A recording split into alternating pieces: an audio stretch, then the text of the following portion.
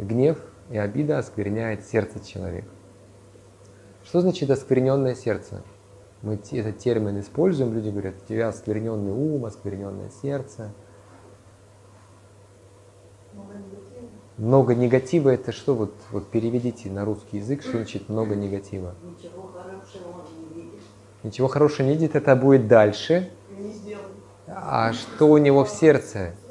Много мыслей, да, много мыслей, которые очень злые, нехорошие, да, которые отравляют ему жизнь, которые все время его накручивают, какие-то вот э, злые мысли.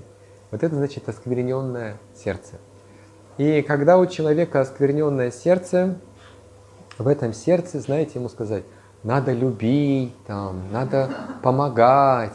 Он говорит, отойди, а. У меня тут, понимаешь, гнев. У меня тут гнев. В этом а, оскверненном сердце невозможно вырасти что-то еще. И однажды нет места просто. Нет места. Она наполнена злобой, да. А, однажды одна учительница, такая очень как это, прогрессивная учительница, она привела такой интерактив в своем классе. Она увидела, что ну, ее ученики постоянно как-то ссорятся друг с другом, постоянно ябедничают друг на друга. Вот. И она решила такой интерактив провести. Она попросила, чтобы в класс принесли мешок с картошкой. По-моему, это не была европейская картошка, это была нормальная картошка, природная. Вот, природная картошка, ну, прям с грязью, видно, что выкопали ее, а не выросла на воздухе. Вот. И она говорит, дорогие мои ученики, а, вот сейчас возьмите каждый по, э, по картошке и можете на этой картошке написать имя того, на кого вы гневаетесь, на кого вы как-то обижены, да. Спросили, а можно два имя написать? Он говорит, можно три. Она говорит, можно троих. Они стали писать с энтузиазмом, там как-то ручкой, выскребать это все. А что дальше? А дальше складываете эту картошку вот в этот мешок. Я почему объяснил, что это не европейский, потому что европейская тоже, она же не гниет. Это было нормально, гниет, да, через месяц, да? Раньше, через три недели. Вот. И вот, значит, они поставили эти картошку, эту картошку поставили, мешок с картошкой возле доски, и через пару дней зловоние стало разноситься из этого мешка, она стала гнить, и вот все вот это вот.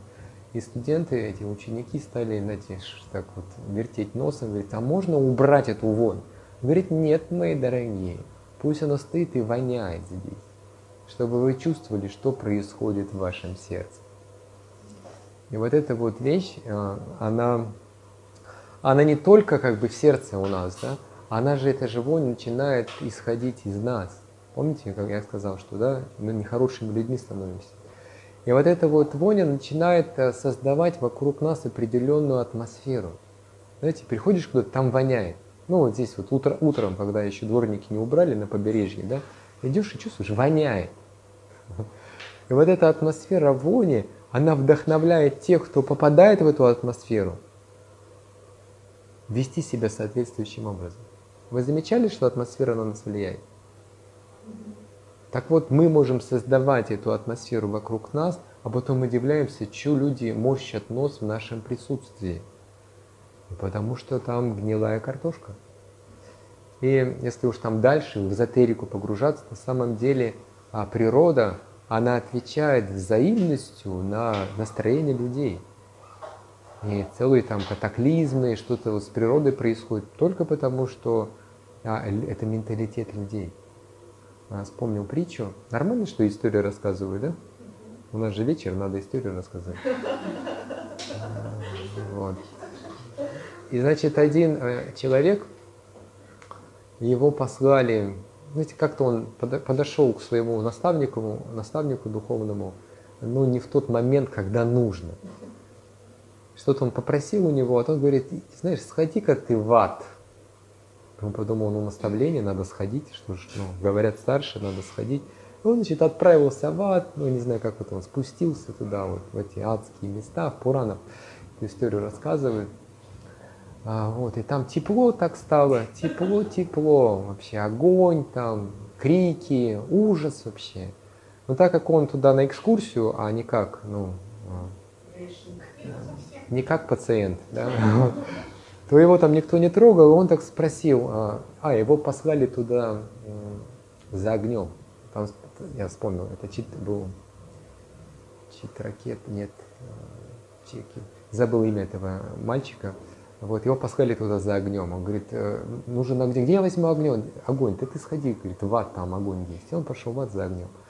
И он, значит, у служителя этого ада спрашивает, а где вы берете столько огня? Мы нигде не берем. Каждый приходит со своим огнем.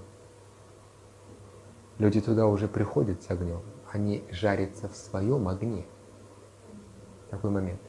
Поэтому вот это вот э, огонь, который горит, эти дурные мысли, этот гнев, эта злоба, она сжигает как самого человека, оскверняет сердце этого человека, и эта вонь распространяется вокруг него. Он сам в этом горит и вдохновляет других, настраивает их на это настроение. Что-то я, не знаю, вспомнил еще один пример. Слышали про эксперимент Вселенная 25? Можете себе записать, посмотрите ради интереса в интернете. И Вселенная 25. И там э, пример, один психолог, не психолог, как это, он, ну, ему было интересно, что будет с человечеством, когда его будет слишком много. И он проводил эксперименты с крысами. Он помещал в их, этих крыс, помещал в идеальные для крыс, для крыс условия, это был рай, и посмотрел, что с ними будет. Помните, да, такое? Пример, да. В интернете можете посмотреть, там все это четко написано. Почему называется Вселенная 25? Потому что он 25 раз проводил этот эксперимент с одинаковым результатом. И там был момент такой, ну то есть крысы, так как они никогда не живут, ну, в природных условиях не живут в раю, поэтому там природа э, регулирует их численность и их устройство, они там выживают просто. Ну и с ним, так как искусственно создали рай, а они остались крысами, а не людьми, то они не смогли жить в раю. То есть они вымирали там.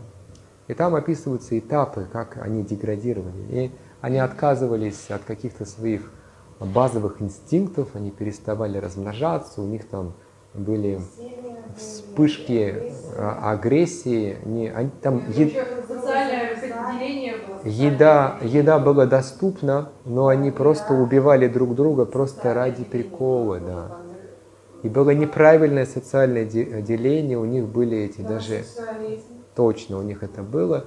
То есть все было, но один там момент был такой, что а, мужчины переставали защищать женщин. Поэтому они в гневе становились, эти женщины, и свою гнев проявляли на детях. То есть кто-то съедал прям своих детей. То есть так как потомство съедали. А потом они вообще перестали а, заботиться о потомстве и вымирали. вымирали. То есть я к тому, что вот эта вот незащищенность, гнев, который возникал, он потом проявлялся на тех, кто рядом с ними находился. Вот этот эпизод просто вспомнился, а этот эксперимент подробно вам уже рассказывали.